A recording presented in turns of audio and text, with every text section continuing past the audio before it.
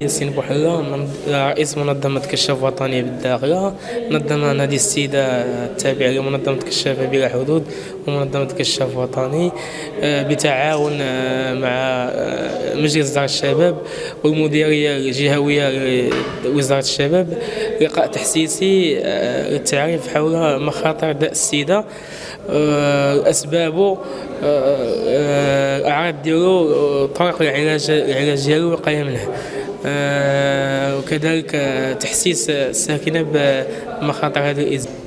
آه، نحن كمنظمة كشافة بلا حدود بشراكة مع الكشاف الوطني قمنا بواحد العرض حول داء فقدان المناعة المكتسبة أو ما يسمى بالإيدز أو السيدا.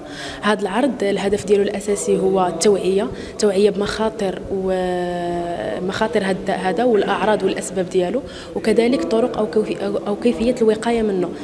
كنتمنى العرض ديالنا يكون في المستوى ويكون مفهوم وكاع الحاضرين يستافدوا منه إن شاء الله.